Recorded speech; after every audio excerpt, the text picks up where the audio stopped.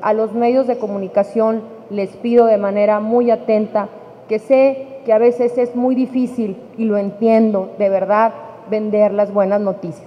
Pero quiero que por favor vean que estamos trabajando. La gente nos tiene, me tiene confianza y me la va a seguir teniendo porque van a ver en mí una mujer que siempre les cumple y que siempre les dice lo que se puede hacer y lo que no se puede.